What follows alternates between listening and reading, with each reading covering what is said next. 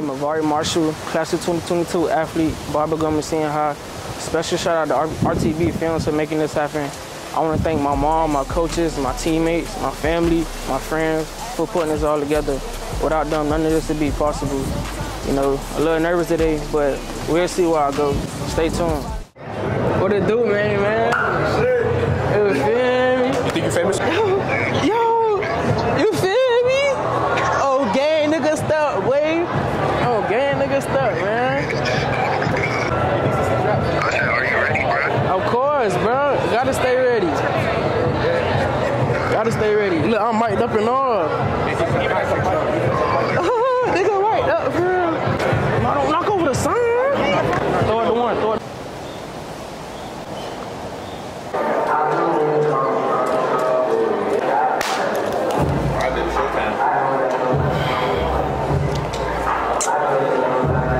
Shit jumping. All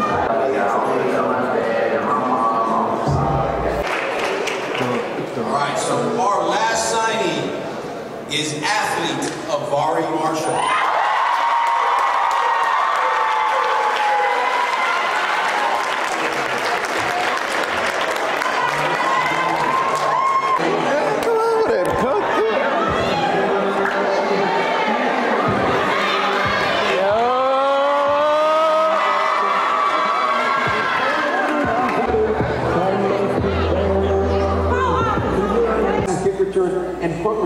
In his career, as well as scoring over 30 touchdowns in his four years.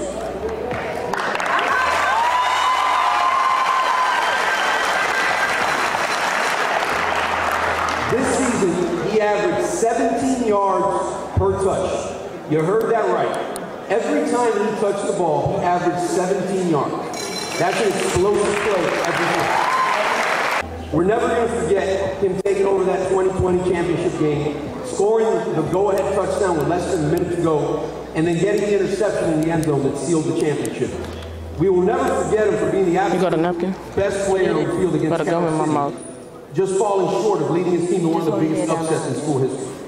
He is a three-time MAC first team selection and could possibly, depending on his decision, could be our second Division One signing in school history. Wow. All right? All right? You want me to say what the finalists are? Huh? Yeah, yeah. So the finalists are St. Thomas University, Delaware State University, Lafayette College, and Florida Memorial University. Let's see where you go. First off, I would like to thank my coaches, my family.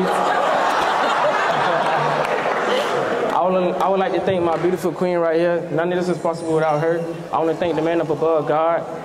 And um, I'm a little nervous, but we're gonna see. Uh, I started my journey in 2018, coming here. You know, I didn't think this was the place for me, but Coach Ariel told me to trust the process, keep working, and a lot of people told me that I wouldn't go nowhere coming to this school, but you know, I had to prove everybody wrong and show them that I could do it. You know, my freshman year, we really didn't have a good season, so I was looking to hit the transfer portal and go to another school. But my mama said, just, just be patient, son. Just trust the process. Something gonna happen. So, you know, with God timing, you know, I just trusted the process. You know, God blesses the ones who most patient. So that's what I did this whole time. So my sophomore year, we turned it up a notch. You know, we lost one game in the championship. You know, it was tough, but I just kept going and kept going. Year after year, just grinding and grinding. Junior year, we came back. We had a depressing season because it was COVID. You know, I had some family members pass, you know, but I didn't let that get to me. I kept going. And then we went undefeated, 8 and 0, won the championship. You know, eyes was bright. By the end of my junior year, I had the top colleges in the nation hitting my phone back to back to back to back. So I'm like, okay, life good. The start of senior year, none of those colleges was on my radar no more. So it made me look like I did all this for nothing. But then again, I stayed patient and kept going. And that's what made me come be at this spot right here today. At the end of my senior season, I had about four colleges hit my phone, two D1s and two NAIAs. So I'm like, yeah, God, good. Um, don't cry. Uh, my junior year track season, I went out.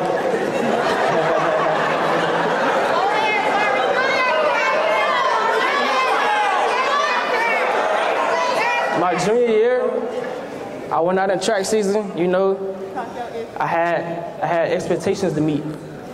My junior year, I broke the school record in 100 to 200 meters. You know, all-time record number one.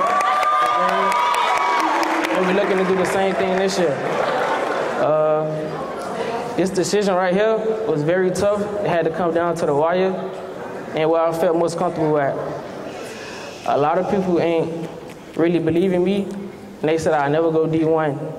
But trust me, I'm going D1. So I did what I had to do, stayed patient, kept grinding. And for the younger younger ones, you could go D1 from Bubba Gum, don't never let nobody tell you you can't. Because a lot of people told me I didn't. But guess what? If you work hard, they're going to come through every crack and they're going to find you. For real. So just keep grinding, bro. Don't expect to leave, don't leave the school. Just keep grinding. Trust me, Coach Naval, Coach Ariel, and all the coaching staff, they got y'all best interest.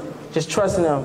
Just stay patient, and God gonna, God gonna have something for you. Y'all ready?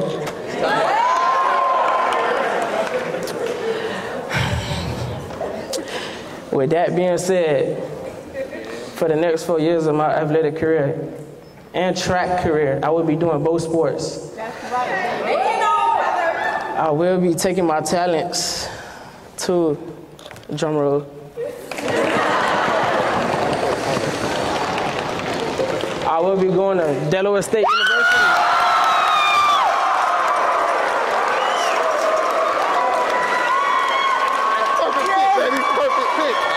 Right choice.